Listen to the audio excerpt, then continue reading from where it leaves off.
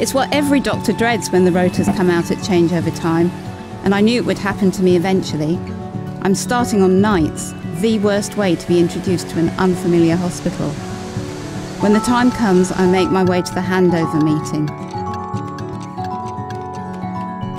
There are about 20 of us squeezed into the room. No one knows who anyone is. It's sweltering, and we're stuck in there for over an hour. Finally, when the day teams leave, there are six of us left, looking at each other with barely concealed terror. The hospital is ours to run for the next 12 hours. We start off down the corridor towards the wards, and the cardiac arrest bleeps go off.